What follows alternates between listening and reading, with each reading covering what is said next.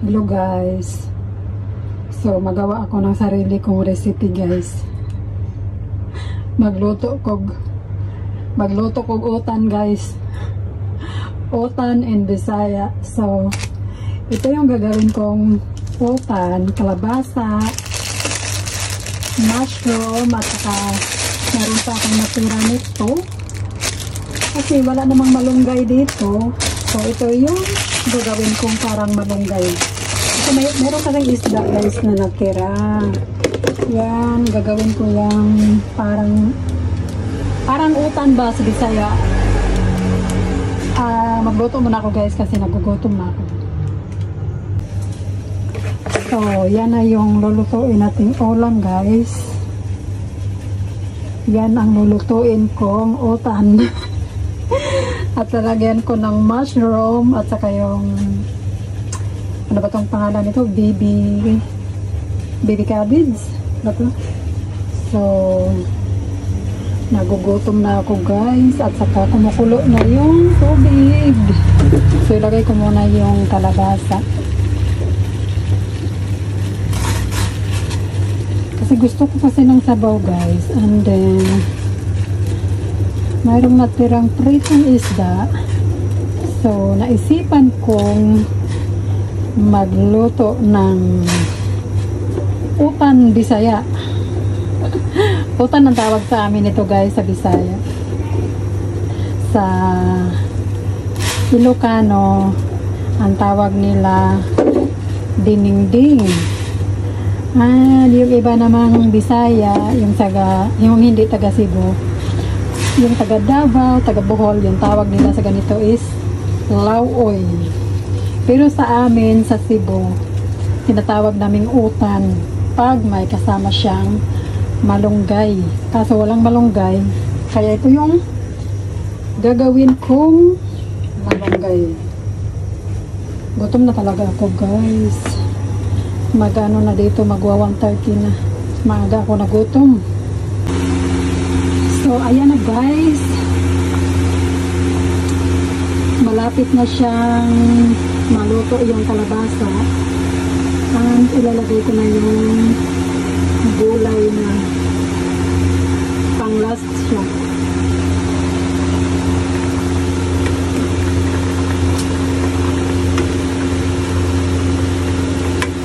Hmm, Pwede na siyang ilagay. So, ilagay ko na guys yung ating huling gulay. And mayroon siyang nilagyan ko ng sili guys. Dalawang sili kasi parang gusto kong kumain ng maanghang. Kasi yung chan ko simula pa kahapon parang parang di, di ano ko, gikabuhi ba?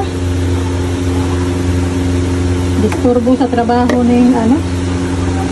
Kabuhi unta. ah, ang dami pala nito. Ang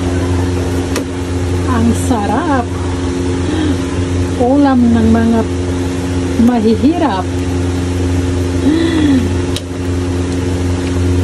Namimiss ko yung mga ganitong ulam guys. Yung ulam ng probinsya ba. Kasi alam niyo na sa probinsya, ganitong ulam lang yung laging naluluto kasi ito lang yung affordable na sa garden lang, tinatanim lang, hindi na kailangan bilhin. Ito yung namimiss ko talaga sa Pilipinas guys. Yung mga ganitong klaseng ulam. O, diba? Ang sarap. So, timplahan natin.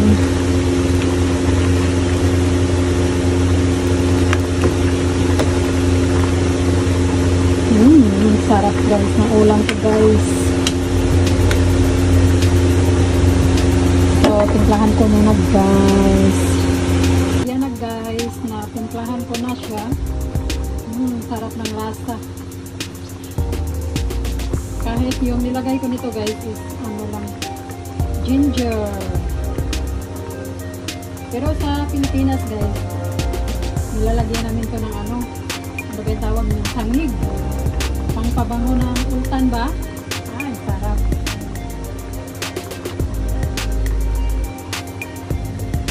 So, tapos na siya guys. Luto na siya.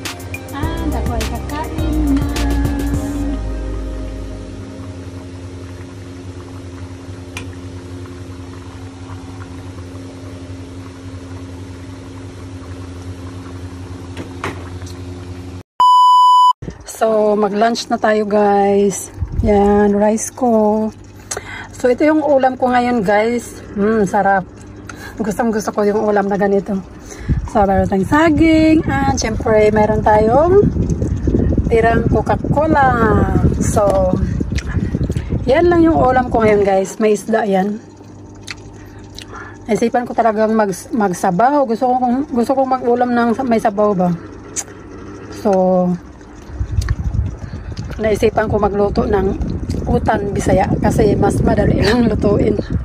So, mag-lunch muna ako guys. Kanina pa ako nag Kanina pa ako nagsasalita dito guys. Malapit akong matapos magkain. Kanina pa ako salita ng salita. Hindi ko pala na-record.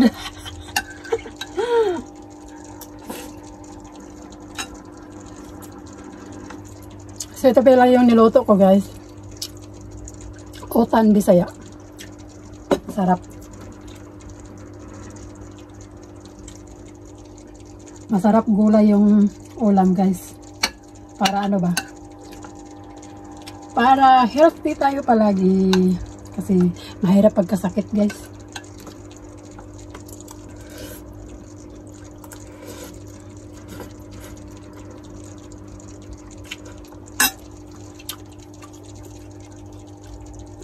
And then, ano, pag, kapag kasi tumatanda na tayo, dyan naman pumapasok yung mga sakit-sakit ba? Mm, talagang ano ako dyan. Iniiwasan, iniiwasan ko na magkasakit guys kasi mahirap magkasakit. Kaya, kaya kami dito guys, Bihirang bihira kaming magkakarne.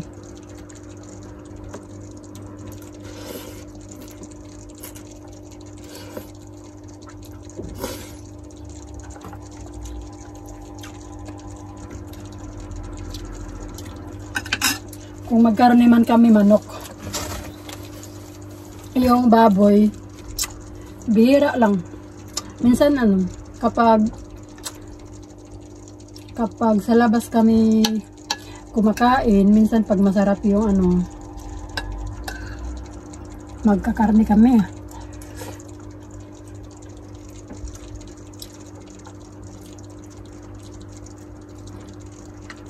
And then, nagiinom ako palagi ng green, ng green tea.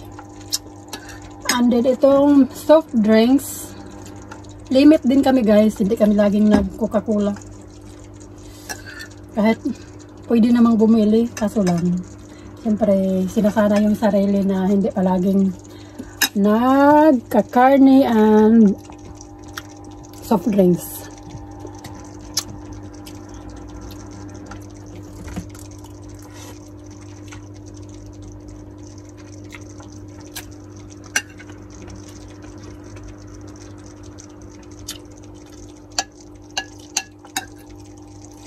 And then ganito guys, late yung lunch ko. Sa gabi, nasanay na rin ako na hindi ako magdi-dinner ng hindi ako magdi-dinner ng rice. Sanay na ako.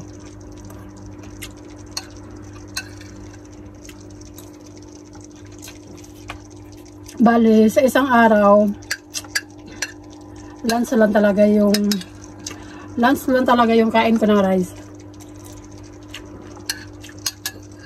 Sa dinner, ano na lang. Hmm. Tea at saka minsan tinapay, minsan yung binibili kong ano ba? Parang rice rice cake. Ah, nahulog. Ito ba? Ito guys. Lagi akong bumibili ng ganito ang partner ko sa tea. Yan, breakfast ko ganito and then dinner. So,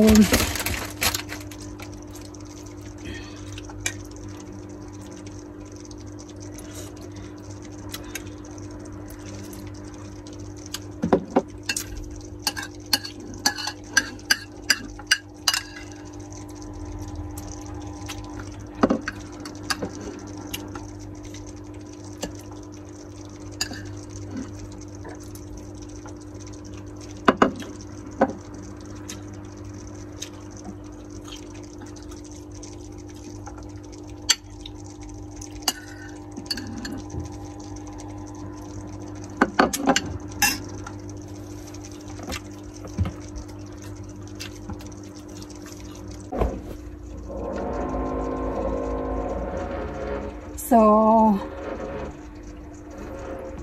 after ng lunch guys, ayan, tinamad na.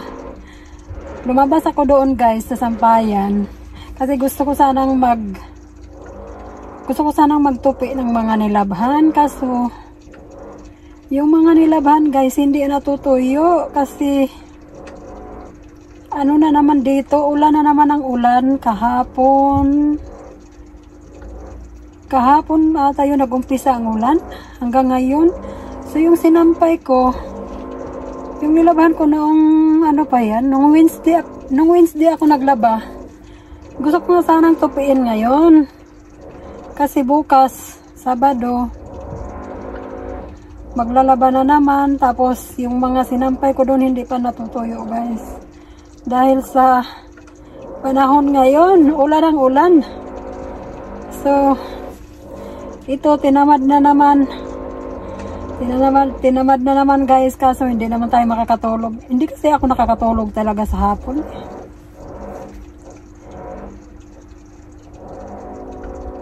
And gusto ko nga sanang mag-brush din ng itong ano namin guys ba, yung sa yung parang carpet namin kasi ang dumi na ba? Eh kaso parang parang wala akong power ngayon na mag ano na maglinis, tinatamad ako. parang gusto kong matulog guys. Kasi yung panahon ngayon sa labas guys, ano, madilim pa paano yung ulan ba hindi naman ma, pahinto-hinto ba umuulan hinto and then yung ano yung labas madilim. Kaya kanina guys bago ako nag lunch break ay maaga pa lang yung mga nilabhan ni Lola kasi si Lola yung naglalabad dyan sa amo ko guys. Sobrang sipag ng Sobrang sipag ng lola ko dyan sa amo ko. Hindi niya inaasa sa yung trabaho ba, hindi niya hindi niya inaasa sa hindi niya inaasa lahat sa kungyan. Kungyan kasi yung tawag dito guys sa helper. Minsan ipino-pronounce namin ng kunyang pero ano yan siya, kungyan. So hindi niya inaasa lahat ng trabaho sa akin. Siya yung naglalaba and then pagdating ko ako nang magsasampay. So kanina guys, nagsampay ako. Mga alas 9 pa lang pinasok ko na yung mga mga nilabhan sa kwarto. Inano ka na ng hum humidifier ba? Kasi sa kanila nga guys, araw-araw laba, araw-araw din topi. Kahit hindi yan natutuyo sa labas, ilalagay mo lang sa humidifier. Ang tuyo agad.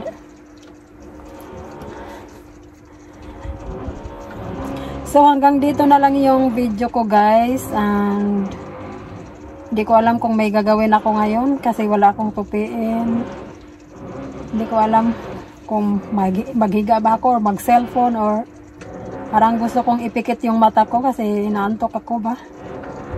So hanggang dito na lang yung vlog ko for today guys. And then thank you for always watching my vlog. Next, konti lang naman. Thank you so much guys. And then, don't forget to subscribe, like, and comment. And see you on my next vlog guys. Bye-bye!